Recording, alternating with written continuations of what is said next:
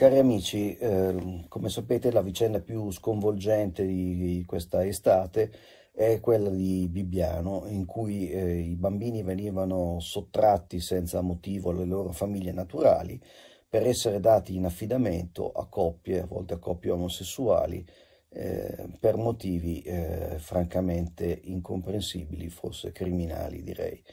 E, ehm,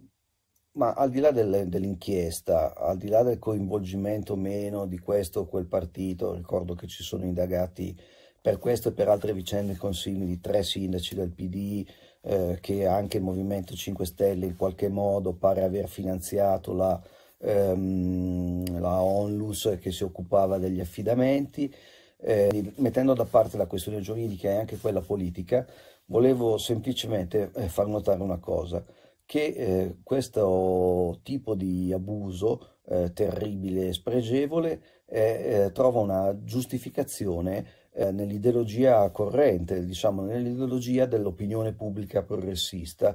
eh, per la quale il vero titolare dell'educazione del bambino non è la famiglia, bensì lo Stato. Ecco, proprio questo, questa statolatria porta poi all'idea che solo i servizi sociali possono capire se un bambino sta bene, sta male, dove deve essere collocato e, e di conseguenza ehm, questa ideologia apre la porta a, agli abusi, abusi che in più sono anche seriali perché eh, appunto eh, essendo esercitati dallo Stato eh, naturalmente possono essere eh, continui.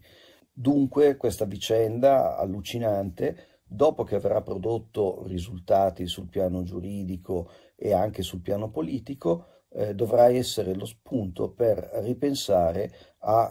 eh, che cosa chiediamo noi all'educazione e a chi riteniamo che sia eh, in diritto di dire l'ultima parola sull'educazione dei propri figli, in questo caso la famiglia per noi.